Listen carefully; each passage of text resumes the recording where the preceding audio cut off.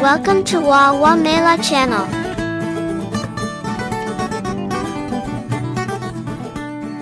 The Thirsty Crow It was a hot summer afternoon.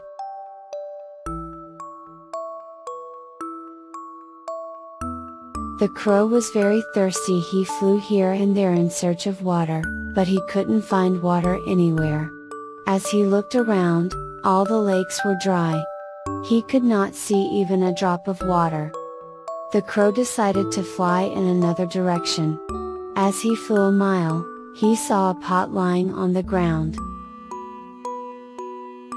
The crow happily flew down to the pot and peeked in with great hope but the water was at the bottom of the pot.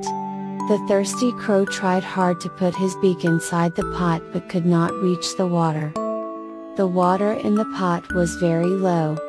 He tried to move the pot but it was heavy. He could not even tilt the pot alone. The crow began thinking of ways to get water from the pot. When he looked around, he saw a few stones lying on the ground suddenly he had an idea. He started picking up stones in his beak one by one and dropped them in the pot. As the stones went down the pot, the water level started to rise.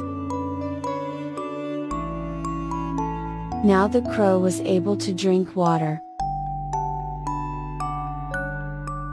He drank the water happily and flew back to his tree.